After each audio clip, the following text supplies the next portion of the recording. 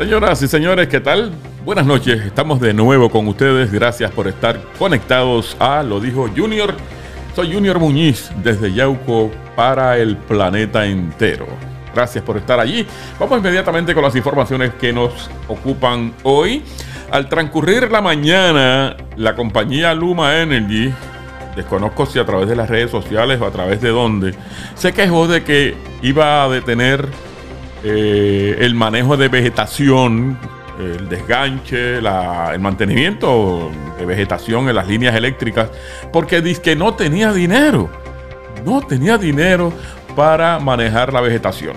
Hoy, inmediatamente, en horas de la tarde, surge una información y es que el portavoz del PNP en la Cámara, el representante, el representante Carlos Johnny Méndez, junto al representante del Distrito 4 de San Juan, Víctor Párez, exigieron, exigieron a Luma Energy que retome la poda de vegetación de forma inmediata. De ser correcta la información que ha trascendido en la mañana de hoy, es totalmente inaceptable, dijo uno de los legisladores, que cancele el llamado manejo de vegetación a menos de dos meses de iniciar la temporada de huracanes en el Océano Atlántico, la cual empieza el primero de junio. No hay razón o excusa alguna para esta acción y exigimos que se cancele la misma de forma inmediata, dijo el portavoz Novo Progresista.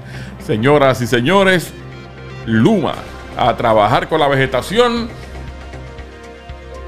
Supuestamente no tiene el dinero para llevar a cabo esa tarea que es parte de la administración del sistema de distribución y, y transmisión mantener las líneas en buen estado. Y como dice el legislador, estamos apenas a dos meses para el inicio de la temporada ciclónica. ¿Cómo es posible? Señoras y señores, eso trascendió esta mañana. Vamos a ver qué pasa. El caso de la joven madre de 22 años que dejó la bebé y se marchó a Estados Unidos luego de haber parido en un hospital en Vega Baja. Ahora la madre está de regreso en Puerto Rico y dice que luchará por la custodia de su bebé. Ahí vemos a la madre. Aparentemente es la de la izquierda en sus pantallas. Eh, la mamá de la bebé que nació prematuramente en el hospital Wilma eh, Márquez de Vega Baja dijo hoy que luchará por conseguir la custodia de su hija luego de que la jueza Aida Meléndez Huarbe del Tribunal de Instancia de dicho municipio determinara que la institución hospitalaria se quede o se va a quedar, al menos por ahora, a cargo del cuidado de la infante. Jacqueline Soto es el nombre de la joven de 22 años que solamente habló en inglés. Llegó hoy a Puerto Rico luego de viajar el pasado miércoles a Nueva York, donde reside tras haber parido aquí en Puerto Rico. A su salida, en una entrevista con personal del Departamento de la Familia, aseguró que ella ni su pareja nunca abandonaron a Alicia, Lidia, Rosa Rose Soto y aseguró que su viaje respondió a que tenían que atender un asunto personal allá, en Nueva York, en el estado de donde proviene. Ella va a luchar por la custodia, pero esto no sé si fue un malentendido o qué ocurrió ahí en esa situación. Por otro caso, otro caso importante, perros atacan a tres personas, entre ellas un adolescente y dos adultos en hechos ocurridos en Utuado. Señoras y señores, tres personas fueron mordidas hoy por perros que se encontraban en los predios del Coliseo Saida Nieves Andújal en Utuado, informó la policía. El ataque ocurrió la mañana de hoy viernes en la cancha de tenis de mesa de esa facilidad deportiva. Ryan Cuadro, de 16 años, ese es el jovencito adolescente, Eladio Vera, de 65, y Carmen Méndez, de 59 años. Desconocemos si son algún, tienen algún parentesco entre ellos. Los perjudicados fueron atendidos en el Hospital Metropolitano de la Montaña.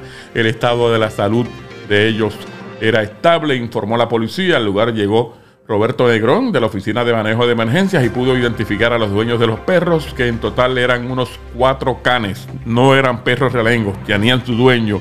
El incidente era investigado por el eh, agente Jaime Pizarro de la Policía Estatal de Utuado. Señoras y señores, usted no puede tener animales sueltos por allí, haciendo y deshaciendo. No sé qué va a ocurrir con estas personas, si van a eh, actuar en contra del dueño de los perros o qué va a ocurrir con este caso.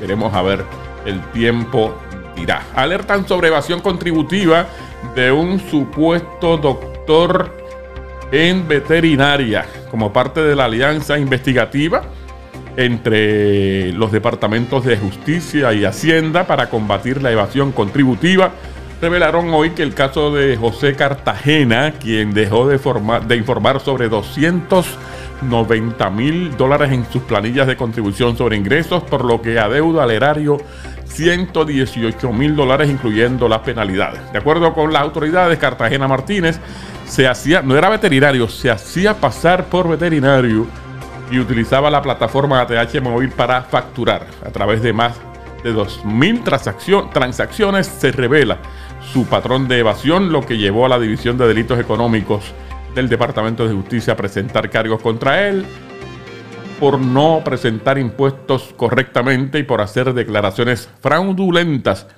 en violación a varias disposiciones de la sección 6030 del Código de Rentas Internas. El supuesto veterinario se ha buscado tremendo problema con esto de estar facturando a través de la ATH, ATH móvil, en este caso a través de transacciones electrónicas y no rendir sobre 290 mil. La deuda Hacienda 118 mil. Señoras y señores, está en tremendo problema el individuo.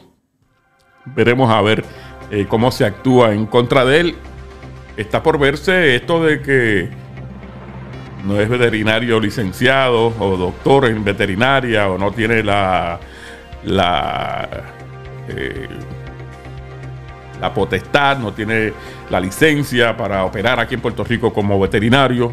Eso también se está investigando en estos precisos momentos, señoras y señores. Vamos a ver qué pasa con el supuesto veterinario evasor.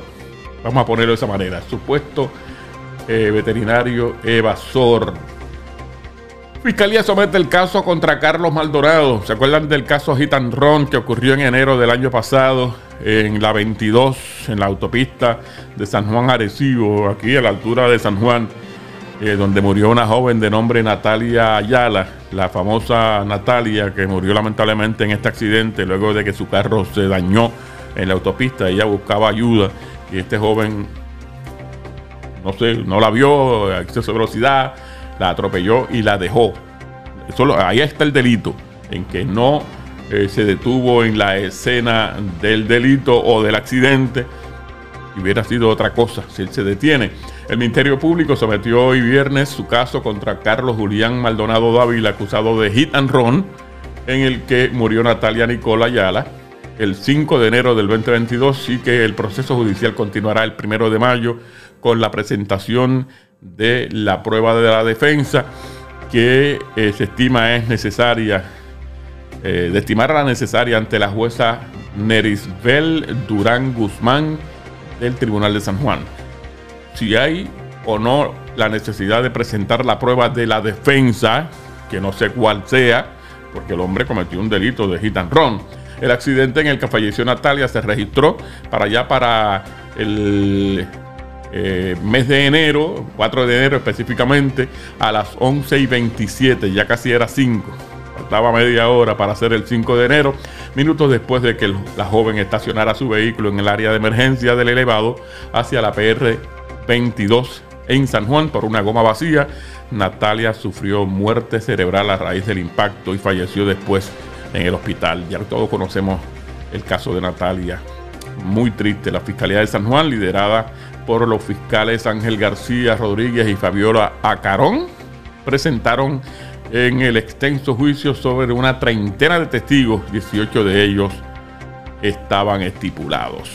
El primero de mayo comienza el desfile de la prueba, la presentación de la prueba, si es que existiera y si es que eh, fuera necesario, no se sabe qué va a ocurrir cuando se vea en su fondo el juicio contra este joven que se fue de la escena ahí está el delito, señoras y señores.